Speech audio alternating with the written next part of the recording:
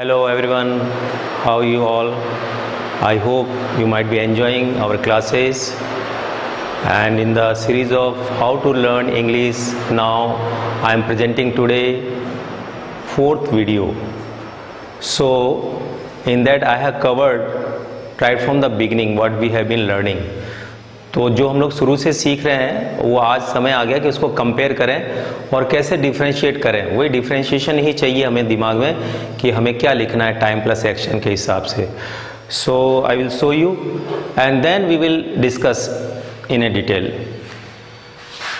now I have written in the heading present perfect continuous but before that if you see this side अगर आप इधर देखते हैं तो प्रेजेंट सिंपल है जिसपे मैंने लिख रखा है रूटीन वर्क एक सेंटेंस मैंने लिखा है he plays cricket every day जिसकी हिंदी बनती है कि वह रोज क्रिकेट खेलता है। इसी से आपको पता लग रहा होगा कि रूटीन मैंने शो किया है। फिर मैंने लिख रखा है प्रेजेंट कंटिन्यूस जिसके सारे रूल्स वगैरह आपको सिखाए जा चुके हैं।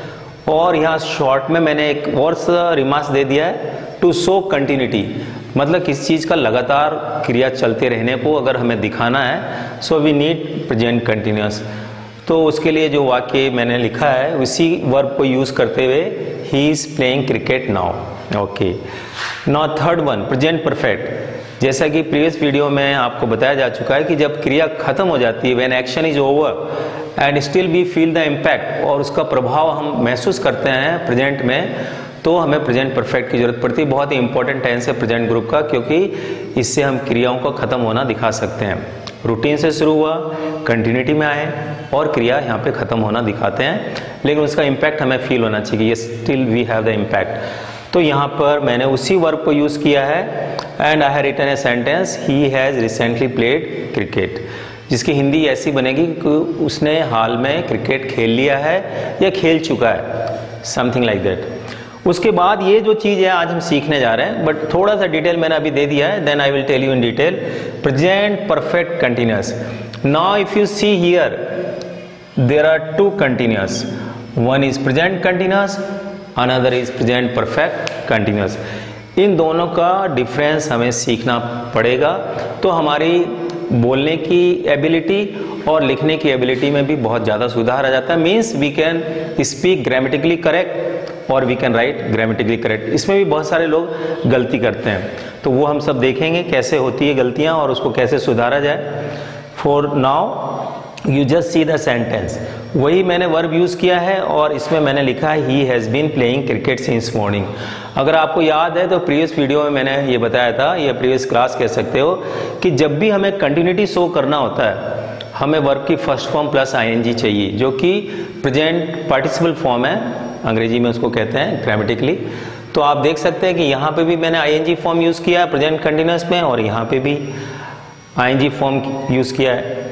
यहाँ पर बी फॉर्म यूज़ किया। बी फॉर्म का भी मैंने एक लेक्चर आपको दिया था बी फॉर्म प्रेजेंट का। और बी फॉर्म प्रेजेंट का तो इजार है।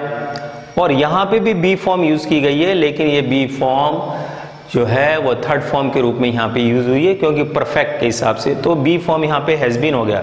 मीन्स अगर थोड़ा सा यहाँ पे फोकस कर लें तो इतने रूल्स को भी याद रखने की ज़रूरत नहीं पड़ती है। ईज आर एन की जगह पे यहाँ पे हैज़ बिन या है बिन आने वाला है। रेस्ट वही है, अब सीन्स क्यों आ रहा है, वो भी देखेंगे। तो सीन्स इसलिए आ रहा है कि हमें point of the time show करना है तो वो भी मैं डिटेल में भी बताने वाला हूँ what is the point of the time and what is the period of the time तो अगर ये चारों आपने अगर ये पैटर्न ही रख लिया दिमाग के अंदर then you don't need any rule you keep changing the verb अब आपने देखा होगा कि मैंने रेड पोर्शन में यहाँ पे अंडरलाइन कर रखा है और इसको एक बॉक्स में डाल रखा है एवरी डे को। Whenever every day is there you must feel that it is routine इसलिए प्रेजेंट सिंपल में यूज़ कर, अब फिलिंग दी ब्लैंक्स की बात आती है एग्जामिनेशन पॉइंट ऑफ़ व्यू से। तो ऐसे ही आपको एवरी डे या कोई भी जो उसके दूसरे एडवर्ब्स हैं, वो दे देंगे और आपका ये ब्लैंक रहेगा और यहाँ पे आपको उस वर्ब का, उस फॉर्मेशन में भरना पड़ेगा, जिसकी वो डिमांड है। तो यहाँ प्रेजेंट सिंपल जाएगा। अगर नाउ है सपोज़ नाउ सोज कंटिन्यूटी अब कंटिन्यूटी शो कर रहे हैं, इसका मतलब अगर यहाँ ब्लैंक है तो इस ब्लैंक में प्रेजेंट कंटिन्यूस का रूल लगेगा और उसके हिसाब से अपने को भरना होगा। अब यहाँ पे आपने देखा रिसेंटली रिसेंटली जो है प्रेजेंट परफेक्ट को डिनोट करता हाल में ही। तो इसीलिए यहाँ पे हैज़ प्लस थर्ड फॉर्म जो कि हम ऑलरेडी सीख चुके हैं।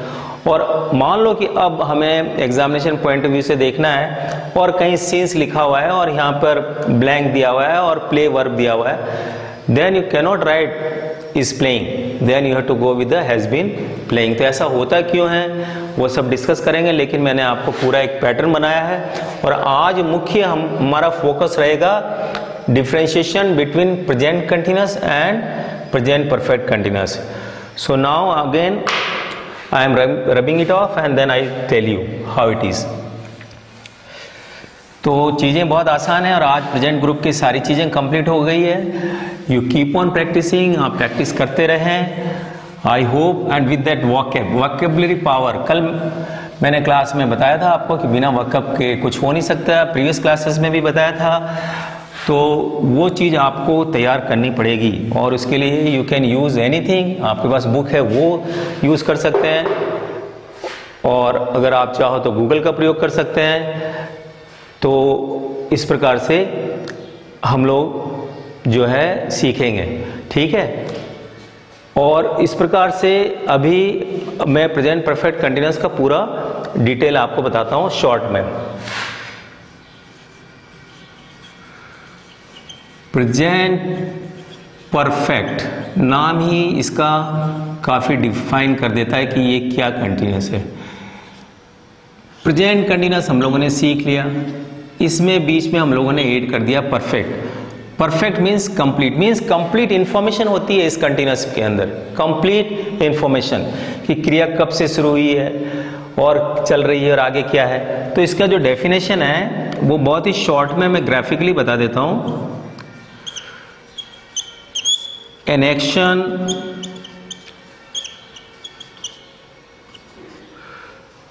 begins in the past. Continuing in the present. And likely to continue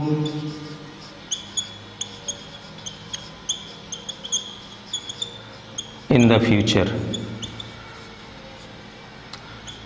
so, this is what present perfect continuous. कोई भी एक्शन पास्ट में शुरू हो गई है कंटिन्यूटी में चली रही है प्रेजेंट में और उसके आगे चलने की संभावना। जैसे मैं हिंदी में एक वाक्य बोल रहा हूँ कि वह सवेरे से खेल रहा है। तो सवेरे से उसने खेलना शुरू किया, घटना पास्ट की हो गई, लेकिन प्रेजेंट में वो खेल रहा है और अब कब तक वो खेलता रहेगा, उसके हमें कोई जानकारी नहीं है। इसीलिए इसको इस प्रकार से यूज़ करेंगे। अगर मान लो कि अब मैं कंपेयर करूँ इसको प्रेजेंट कंटिन्यूस से, जैसा मैंने आपको कहा था तो ये हिंदी में अगर मैं बोलता हूँ suppose I write Hindi also वह खेल रहा है। This is pure present continuous now suppose I add extra time something like that वह एक घंटे से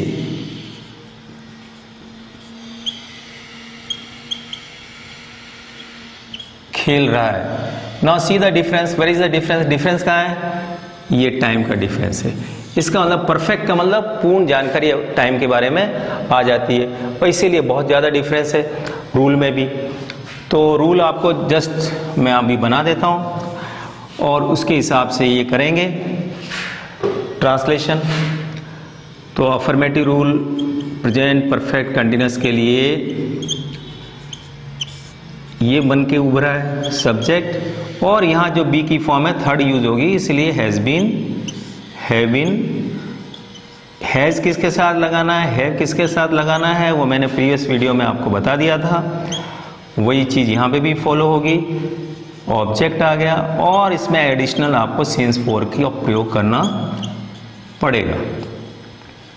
और ये हो गया। According to this rule now we have to translate this ये तो सिंपली प्रेजेंट कंटिन्यूस का इसलिए बन जाएगा ही इज़ प्लेइंग ऐसा लिखा भी था मैंने, और जो भी आ गया ना सपोज़ ही ना with the he has will come so has been playing अब मैंने जो हिंदी में लिखा हुआ है, उसी का तो फो एन आवर इसका मतलब जो टाइम है इसके अंदर, वो एक घंटे का है। तो ये ड्यूरेशन है ड्यूरेशन के लिए हमें फोर यूज़ करना पड़ता है। यही ध्यान रखना है यहाँ पे फोर और सिंस के लिए। तो फोर एन आर। तो इस प्रकार से ट्रांसलेशन हो जाएगा। अगले एक मिनट में मैं आपको समझा देता हूँ कि सिंस कब यूज़ करें और फोर कब यूज़ करें। तो आई होप आपको डिफ्रेंशिएशन भी पता लग गया होगा। प्रेजेंट कंटिन्यूस और प्रेजेंट परफेक्ट कंटिन्यूस का ये प्रेजेंट कंटिन्यूस में है और ये प्रेजेंट परफेक्ट कंटिन्यूस में फ़र्क कितना ज़्यादा आ गया, सिर्फ़ समय होने से। तो यही चीज़ आपको ध्यान में रखना है। और अगर आपने ये ध्यान में रखा है तो फिर आपको कोई गलती नहीं होगी। अब मैं थोड़ा सिंस या फोर का डिफ्रेंशिएशन आपको बता देता हूँ, इसमें क्या डिफरेंस है? तो आप देख सकते हैं सिंस जो है, वो आपको point of the time show करता है। पॉइंट ऑफ़ द टाइम का मतलब क्या है?